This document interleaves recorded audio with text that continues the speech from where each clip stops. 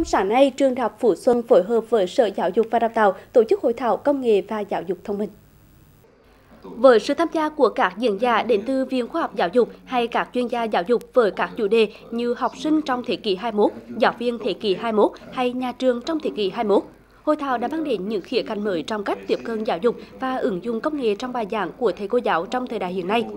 Thông qua những kinh nghiệm có được từ hiệu quả của một số mô hình giáo dục thông minh đang triển khai tại các cơ sở giáo dục phổ thông trên cả nước để củng cố, mở rộng, nâng cao, nhân rộng các mô hình hay, đồng thời mời gọi các chuyên gia, nhà khoa học và các tổ chức giáo dục có uy tín, đủ kinh nghiệm và năng lực triển khai giáo dục thông minh, đóng góp ý kiến, tư vấn cho Thừa Thiên Huế xây dựng các đề án, chương trình, giải pháp một cách toàn diện nhằm phát triển giáo dục thông minh đối với các cấp học.